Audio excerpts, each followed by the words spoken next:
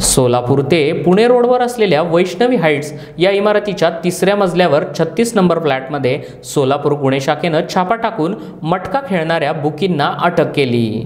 यावेळी सहा जणांवर कारवाई करून पाच लाख अठ्ठेचाळीस हजारांचा माल जप्त करण्यात आला. शुक्रवारी ही कारवाई करण्यात आली होती.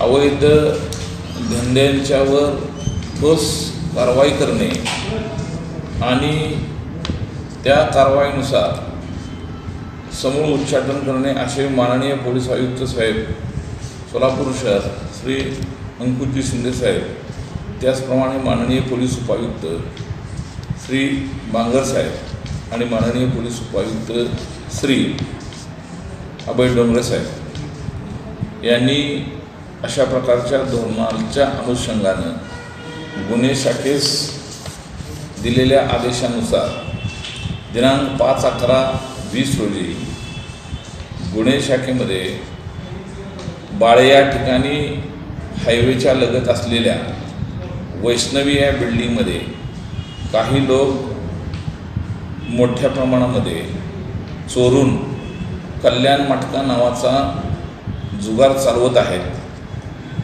तो जुगार चालवून आर्थिक फायदा करून घेण्यासाठी ते लोकांना आमिष दाखवून परावृत्त करत आहेत आणि त्यामधून गोरगरिबांची फसवणूक करून त्यांना सर्वसामान्यपणे जीवन जगण्यासाठी उपद्रव करीत आहेत अशी माहिती मिळाल्यानंतर मी स्वतः संजय साळुंके वरिष्ठ पोलीस निरीक्षक गुन्हे शाखा त्याचप्रमाणे गुन्हे शाखेकडील अधिकारी सपोनी कुंभा सपोनी पोळ आणि पोलीस उपनिरीक्षक संदीप शिंदे व कर्मचारी बाबर कोतवाल नागटिळक विनायक बर्डे विद्यासागर मोहिते अश्रुभान दुधाळ सागर गुंड सोमनाथ सुरवशे उमेश सावंत स्वप्नील कसगावडे सिद्धाराम देशमुख राठोड राहुल गायकवाड अशा पथकाच्या मदतीने त्या ठिकाणी छापा घातला असता.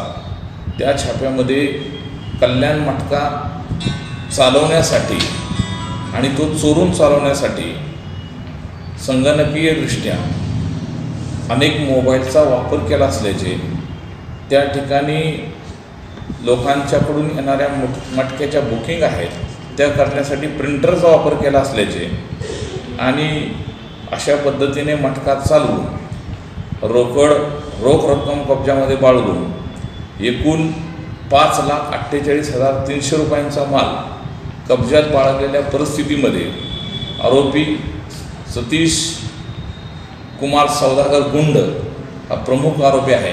याने त्याचे अन्य साथीदार कुणाल अंबादास बडेकर सागी सागर रवींद्र बेनके संतोष उर्फ रोहित हुंडेकरी ज्ञानेश्वर रामकृष्ण दरेकर आणि खंडप्पा लक्ष्मण घोगरे यांच्या मदतीने तो त्या ठिकाणी हजर असल्याचे मिळून आल्याने त्यांना ताब्यात घेऊन कारवाई करण्यात आलेली आहे. सदर कारवाईच्या संबंधाने फौजदार चौडी पोलीस ठाण्यामध्ये गुन्हा नोंदवण्यात आलेला आहे. या गुन्ह्याचा तपास गुन्हे विभागाकडून करण्यात येत आहे. या गुन्ह्याच्या तपासामध्ये आणखी काही या मटक्याच्या संबंधित असणारे लोक ताब्यात घेऊन त्यांच्याविरुद्ध देखील ठोसपणे कारवाई करण्याचे कारवाई करण्यात येणार आहे.